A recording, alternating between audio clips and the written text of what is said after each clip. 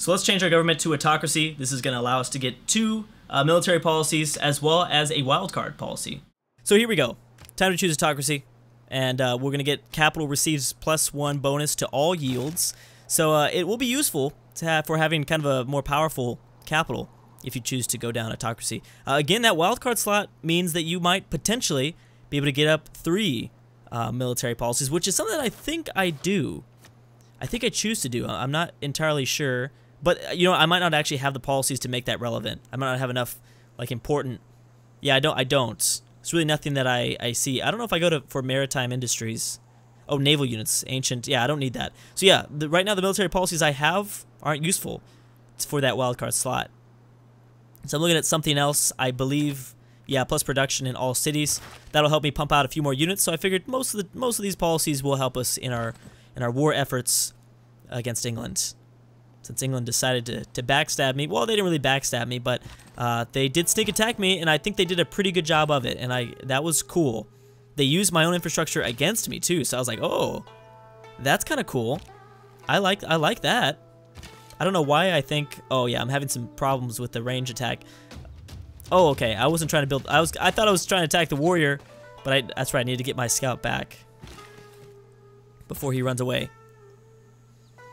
So I have no ancient walls, which means that my cities are not bombarding. I also don't have the correct building in my encampment. I believe you might need a barracks to be able to start to fire from the encampment. And I'm not trying to send out my I'm not trying to send out my, my builder right now while we're being invaded like this. Uh, I, I, wanted to send a trader to New Orleans. That way we just have the infrastructure. Oh, I don't think I, I'm going to be able to get that encampment because because Japan is right there. Right there.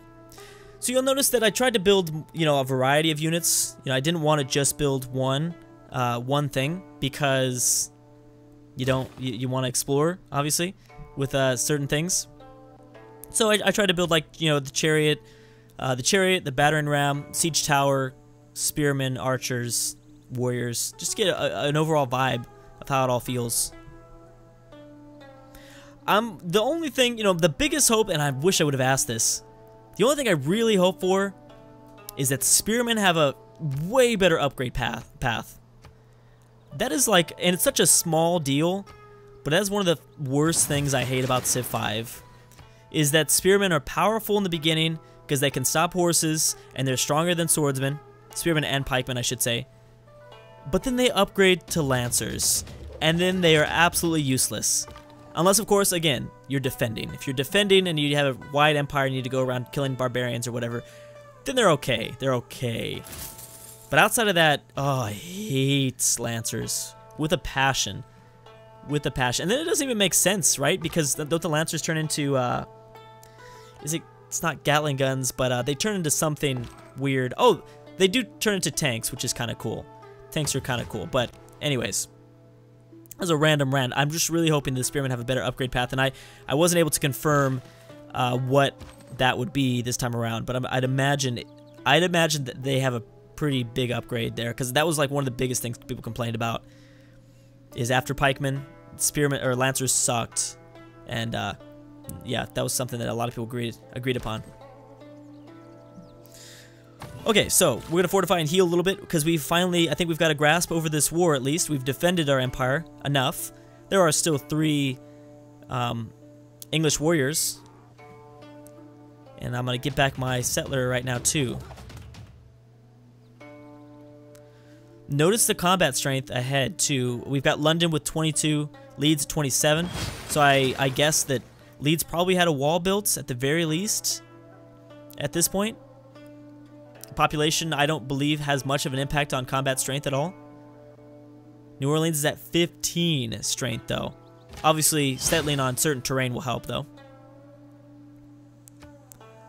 So, bam, there's my settler. So I gained my settler back. Again, I don't think that is going to be a...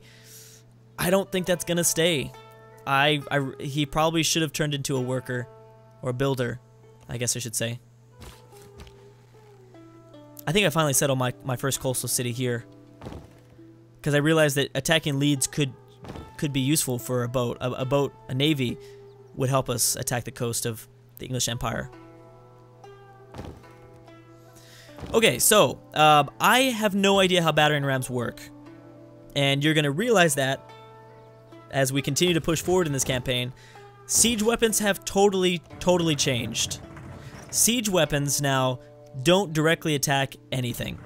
That's the battering ram and the siege tower. What they do is they give a pretty big bonus to the so first of all siege units imagine siege units pretty much as a civilian unit now. Imagine them actually as a great general that specializes in taking cities. So they give big bonuses to the surrounding melee units. Um, I don't know how I feel about this change. I I don't know yet. It was just something that I accepted, and looking back at that, oh, the mountains look so cool drawn. Um, looking back at that now, I don't know. You'll you'll see me use the siege weapons. You'll see me use multiple siege weapons. You actually see me see me use siege weapons really wrong in the very beginning, so uh, that will be that will be fun. But um, we'll see how that works out. Again, they they're pretty much acting as great generals now because and again it kind of works hand in hand with the stacking system which as i said in the very beginning doesn't really change a whole lot. And i'm glad it doesn't because the reason why i could never go back to civ 4 after civ 5 was i just loved unstacking units. Hated stacks of doom from civ 4 hated them. Oh my gosh. Yeah. It was a good game but just the stacking of units ruined it for me. Anyways so we've got three English warriors inside of my empire right now, taking us down. And I'm feeling pretty confident at the moment. Um, I, will actually skip ahead here in the video. Just a little bit. I'll actually go to about there. Okay, so yeah, obviously I was going to deal with those guys. So I have myself a battering ram. I have myself a chariot archer, heavy chariot archer, I believe. And I find a bar, uh, uh, an encampment. I was so upset about that because I sent my settler out there alone because I assumed there's, not gonna, there's nothing going to be over here. I can't be that unlucky. Of course I was wrong. Now luckily, La Venta saved my booty all day this day at this event. La Venta helped me destroy so many barbarians. I loved it. It was a really cool city-state. I didn't like the bonuses they were giving me. The faith was whatever. Although I should have realized the faith was really useful. I didn't realize I could have bought great people with those faith with the faith points. Because I kept thinking, where's my great prophet? I'm doing okay faith-wise, even without a shrine. Well, I don't think I built a shrine. I might have. Uh, let's see, what is this? 6 plus defense. Yeah, I didn't really care about the defense. 100% production towards defensive buildings. I didn't need that anymore. That that would have been useful like about 10 turns ago, this defensive tactics. I still went after it because was the only military policies that I, I had noticed I could acquire. Kind of trying to see if England has anything else. Wanted to make sure England had nothing else here.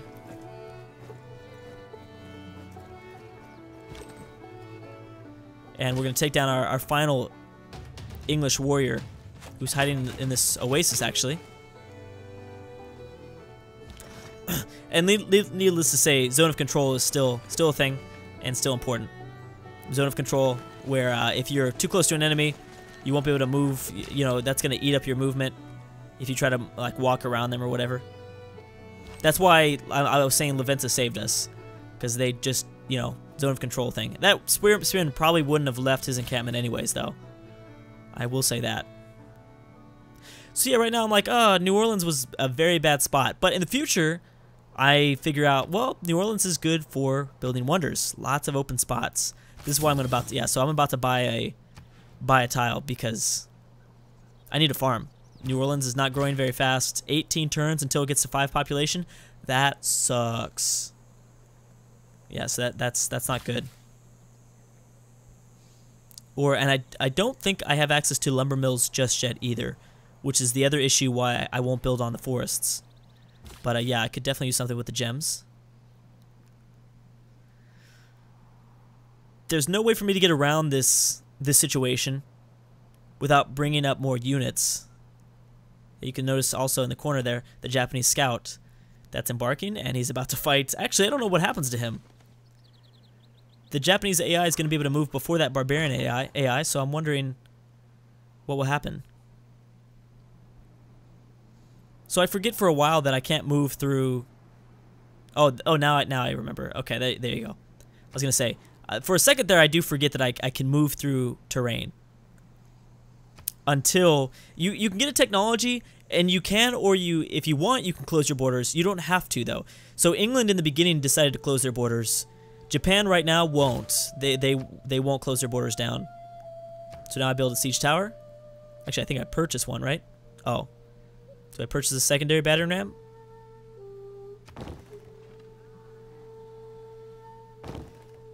Yeah, so we are we're coming in for the next attack, for the next invasion with these siege units. Oh, Japan does move away. Oh, do they uh, do they land? They don't. Let's see what these barbarians do up here in the corner.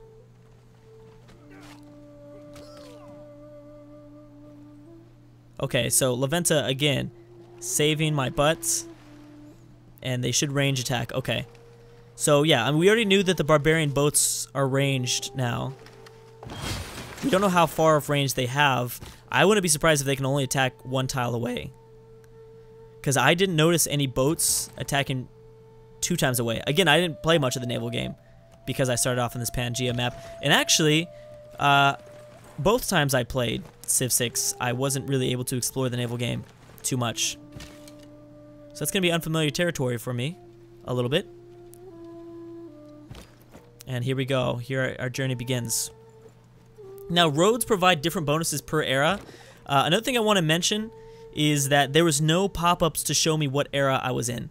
And uh, that was kind of a difficult thing to deal with because I didn't know what era I was in, and in the tech tree and in the civic tree, there is no display. So that's uh that's something that I really hope changes because there I think it I think it is confirmed that those pop-ups were just put in.